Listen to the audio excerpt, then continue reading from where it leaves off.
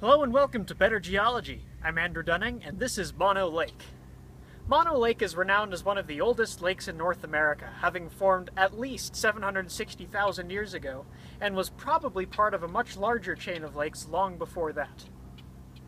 It is perhaps most famous for its large concentration of tufa, like this, which is deposited underwater in highly alkaline waters by rising spring water that carries minerals like calcium carbonate which then lithifies and solidifies into tufa like this.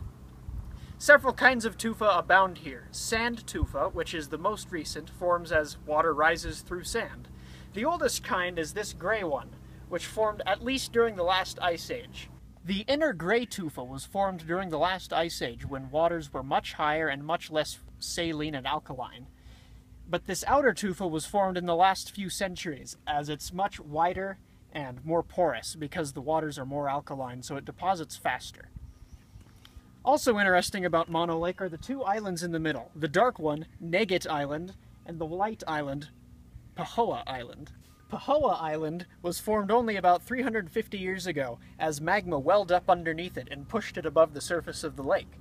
And the dark island in the distance, Negit Island, was formed from cinder eruptions in the last thousand years. Mono Lake is increasingly alkaline as the water level has been dropping since the city of Los Angeles has been diverting its water for municipal use. The lake level has dropped about 50 feet since Los Angeles took all the water rights, and has been fluctuating considerably since then. Usually there's about 10% dissolved salts in the water, which is about five times more than the ocean. This has been Better Geology. I'm Andrew Dunning. Thanks for watching.